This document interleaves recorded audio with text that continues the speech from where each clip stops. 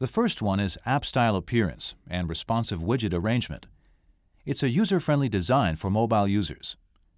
To view Web Access Dashboard on their smartphone, what users have to do is simply type the IP address of the server in any browser.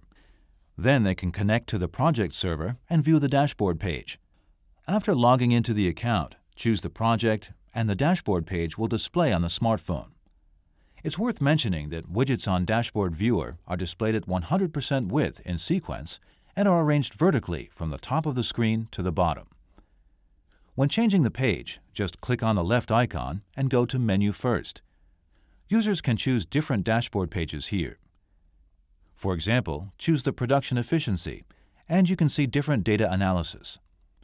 In addition, users are also allowed to switch the display language, including Chinese and English, directly on the phone here.